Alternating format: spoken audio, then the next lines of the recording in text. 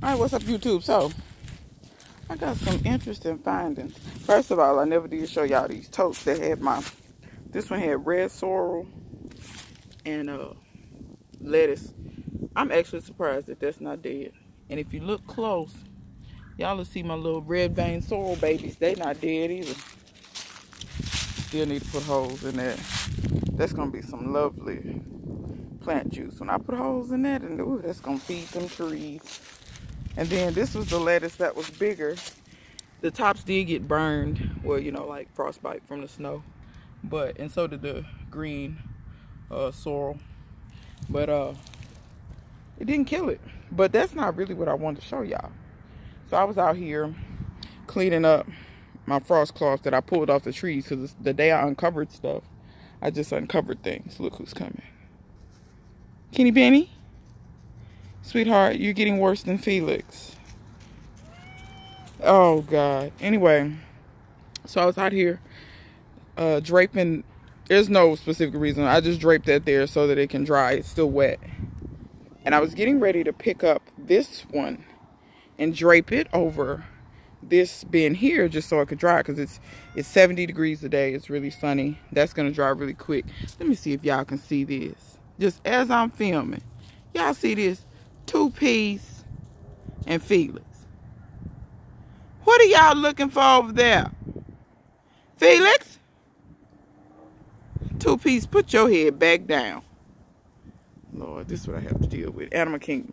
So like I said, getting ready to drape that because that's wet too. Because if y'all see, it's a little bit of ice right there that hasn't melted. There's a just a few places where ice was covered with something and it hadn't melted. And I looked and I saw bees. This, the top, this top here was on there, just like how that one is. And I saw the bees like buzzing around the top. And I'm like, okay, what are they doing? What, like, why are they trying to get in there? I thought it, the yellow was attracting them.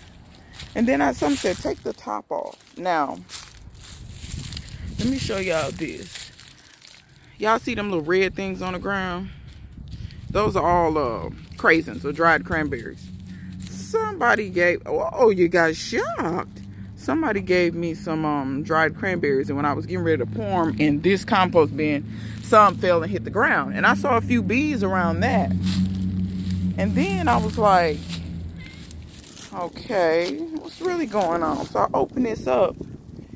And can y'all, let me see if y'all can see just, I've come a little closer so they really not but y'all see how many bees is flying? And then when you, I mean, you can hear them buzzing. I hope they don't sting my ass. I'm going to be hollering and running. I'm trying to be calm. But y'all see how many is in there? And I can hear them buzzing. So, y'all, apparently they eat craisins. Now, keep in mind, there's no flowers in my garden right now. But that's mainly what the bees are on. Because y'all see that little concentration of bees right there? They're really like on the craisins. So, look at Kenny laying amongst the bees. Kenny's a bee whisperer. I cannot with these cats. So, I see them around this one too. Okay, yeah.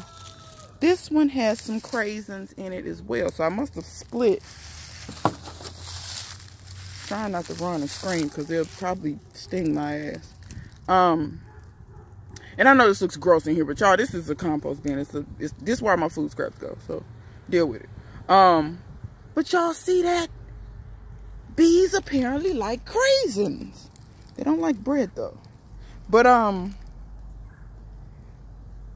but this gives me a fabulous idea. So I did not know this. Once again, let nature do its thing. Come out here, observe nature. You'll be surprised at what you find.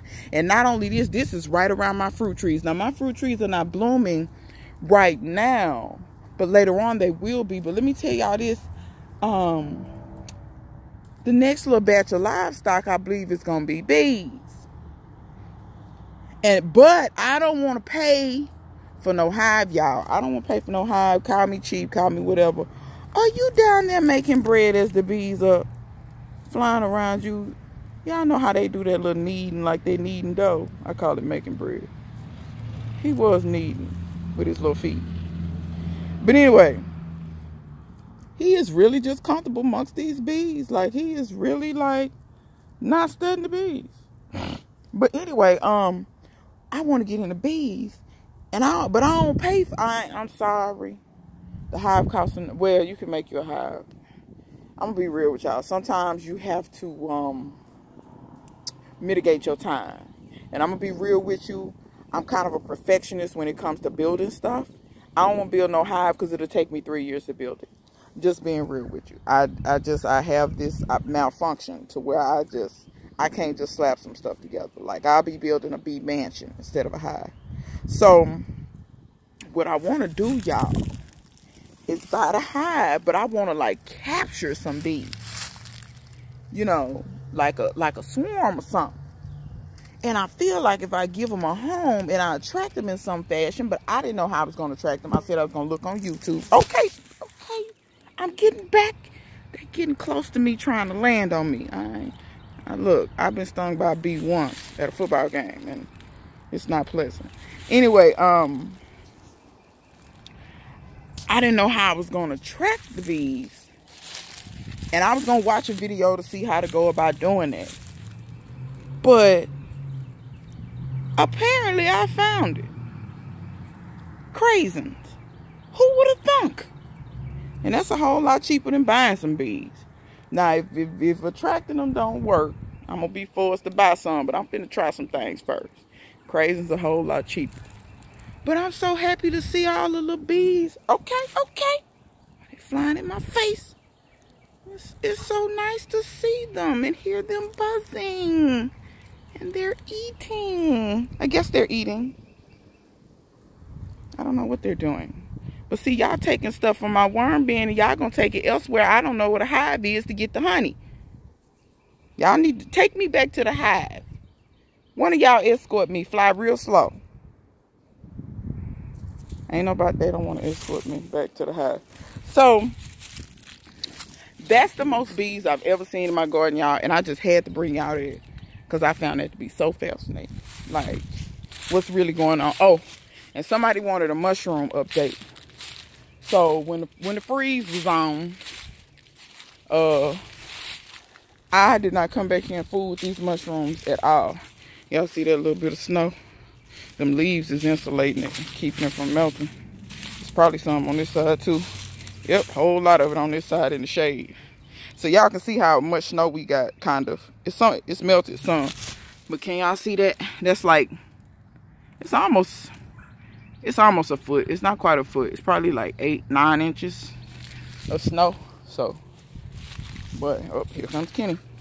So, in the woodshed. Oh, my ear. So I came in here and these mushrooms have grown. These are the blue oysters. Um, and I didn't see anything else. I think the logs are giving up on me. I've harvested on them a few times. Um, but it's all good because once those once those logs stop, I'm going to, um, like once I cut those off, I'm probably pretty much going to show y'all how to inoculate um, some straw oh, you gonna help me? You always say you gonna help me, and then I I sign your paycheck, and then you gonna break for six hours and go play with bees, apparently. Anyway, um, you know you can't tell these cats nothing right now. The neighbor fed them chicken salad yesterday. Lord, uh, if I'm not spoiling them, somebody else is spoiling them. Stop stalking me. Stop. Don't walk faster than me. Stop walking faster than me. Anyway, um, yeah, y'all. So I wanted to show y'all that. Let me see. We had nine minutes, 37 seconds. I'm about to um cut this video, and I'm gonna open the greenhouse because I hadn't opened the greenhouse since since it uh the the snow quit and stuff. Um, I need to check the greenhouse. See what's. I think every. I think most stuff is okay. I think I lost a tomato. Sorry. Um, making some sun tea. Got four pictures of that going. Um, but yeah, I just wanted to show you that because I found that to be so interesting. But if it's any beekeepers out there, beekeepers that know what they're doing, please, um, let me know if y'all think that's a viable way to attract some bees to a hive. I think it is because there's a lot of them over there and it's winter. They probably hungry. So, by the way, I didn't show y'all these, but I did uncover these. Look. Hey, baby love. I'm surprised you didn't scream. He usually walks up to me and meows really loud and really long. Chrissy? Mm, you're going to bathe? Okay. Well, I uncovered these. These peas look the worst. Um, this spot gets the hottest heat, and in the wintertime, it gets the worst of the cold as well. So, this is kind of a extreme spot. So, I kind of have to plant tough stuff here, or things that I want to become really tough. Um, I don't know about any of these cuttings, like the coleus and stuff. I got a feeling that'll come back from the roots. That's like mint. Well, it's in the mint family, so I'm thinking that's like a weed. If it don't come back, I don't care because I can't eat it anyway. Um, the buds on all of these, except for one, looks pretty good. All these cuttings. You can see one I'm trying to bud out over there. That one's trying to bud out. Kenny, I mean Chrissy, why is Chris getting in the thing with the sweet potatoes?